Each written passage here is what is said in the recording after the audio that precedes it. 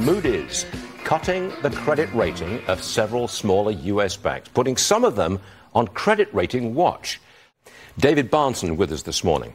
You don't think that this, it, this, this credit downgrade watch you don't think much to it? That's not the reason why the market's down this morning? Well, I'd point out that the NASDAQ futures are down just as much, if not more, than the Dow futures. And none of these things are NASDAQ issuers. These are very small regional banks. JP Morgan's flat on the day. Truist right now is about 16, 17% higher than it was just two months ago. I just think that these rating agencies are so overthought how late they are to the game. They're basically right now reporting March news, and it is the month of August. Okay, so the, the downgrade question the Moody's story is not the primary reason for the stock sell-off this morning. Definitely not. What is then? What I think it? it's nothing more than the fact the market was up over 400 points yesterday. It was down last week. We're in a more volatile environment, up and down movements because the market right now has had such a good earnings season. Now traders have to take a little money off the table. There's going to be up and down volatility.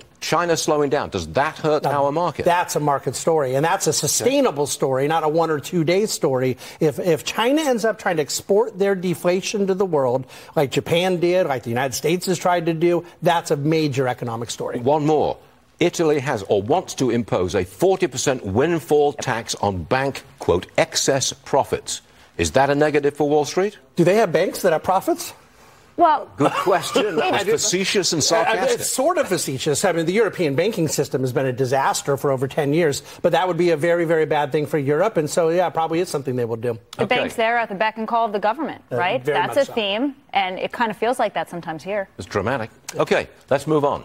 Uh, with us uh, for this hour, that's you, by the way. Thank you very much indeed. Ron DeSantis has a warning for Republicans about the upcoming election. Uh, what is the warning, Lauren? It was an interview with uh, NBC, and Ron DeSantis said Trump lost. He said it very clearly. Trump lost 2020. And if the country keeps focusing on Trump and his legal woes, Republicans will lose again in 24. Trump will be in court campaigning. You, uh, Bahnsen here is dying to get into this. What do you got to say? Uh, in 2015 and 16, President Trump was running at the time based on grievances that, for right or for wrong, he tapped in with the grievances of certain American people. He right now is campaigning on his grievances. And I think that Governor DeSantis is right that there is less uh, emotion for what is happening to him than there would be for what's happening to the American people. You have to focus on President Biden's policies and a forward vision for America. And Stuart, I've heard you say the same thing over the years. I have indeed over the years. Yes, many, many years. David, thank you very much. Okay, I, I have to move on, David, because I have David Bahnsen with me, and he is a very much a dividend guy. So let's see what Mr. Bahnsen has to say about a 64% dividend on TSLY. You're laughing. Yeah, I wrote a book, as you know, called There's No Free Lunch. You and did. one of the most important rules for investors to remember when it comes to investing is there's no free lunch. There's no free 64%.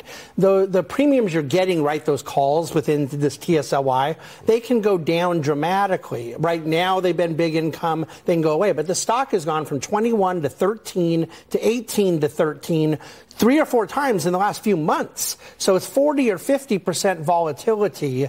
There is absolutely no such thing as a 64% dividend on God's green earth that is safe and protected, and investors have got to know that. I think we've, well, we've got an interesting debate going here. That's what we've got. TSLY, 64%, yes or no? All right, my favorite, Beyond Meat. Huge decline, still down Whoa. 20%. Tell me more. U.S. sales fell 40%. High inflation. Beyond Meat is expensive, pushing shoppers to make decisions. What kind of protein are you going to pick? Real meat, as in pork prices, are getting cheaper. Overall, in the quarter, Beyond Meat revenue fell 30% to $102 million. Uh, Bahnsen again is laughing up a storm right next to me. What do you got on Beyond Meat? Their entire revenue as a company is about what the McDonald's on 6th Avenue did yesterday. um, uh, this is a fad. The stock was at 160. It's now at 12. It is going to zero. They blow Whoa. money up. $257 million of losses a quarter. Uh, the, I never see statistics like this of how how much they're eroding. The more they grow, the more they lose.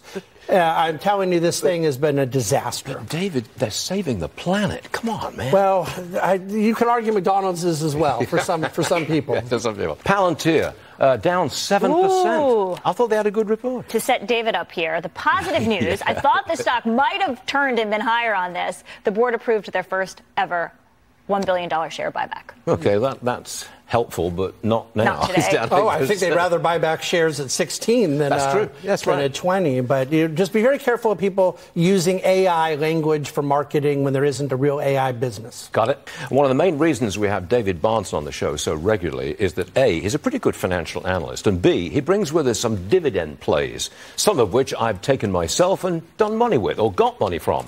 First off, Lamar advertising. I always want to bring one company when I'm on with you that has had some weakness, and because you want contrarian, you know, stocks that maybe are at a good value. Lamar had a little decline in revenues last week, and the stock dropped. But this is billboard advertising, by far the largest in the country. You're going into political ad season next year. Generally, a good season for billboards. 5.8 percent dividend yield. 5.8 percent at 88 dollars a share, and very solid, and they grow it okay. year over year. Fine, I'll take that. Amgen, biological. Amgen, then, on the other hand, a great numbers last week. 9% revenue growth. The stock is up quite a bit. They had no less than nine drugs last quarter have all time highs in revenues. Nine drugs set their uh, all time record in terms of gross sales. Amgen's really been a great dividend grower for us. What did they pay at 260? Uh, Amgen's at 3.5%. Not bad. Gilead Sciences. Gilead's at closer to 4%, about 3.9, by far the best HIV treatment in the world. Now they're really getting into oncology, doing great things with cancer. They think oncology will be 30% of their business by the end of the decade. Got it. David Bahnsen, thanks. Excellent pick. David Thanks, Bahnsen is still with me. What do you think of Biden's uh, green policy?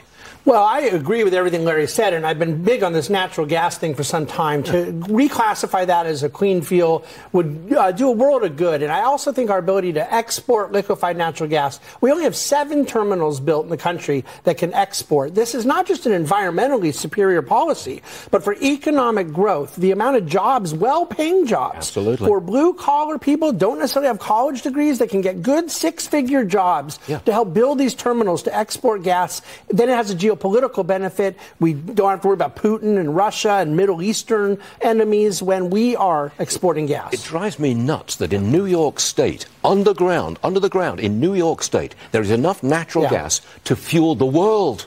In, in, in New York State and California. And both of those states are the most stringent at keeping it from happening. And, and both of those states are the states I call home. So what does that say about me? You mean you should move.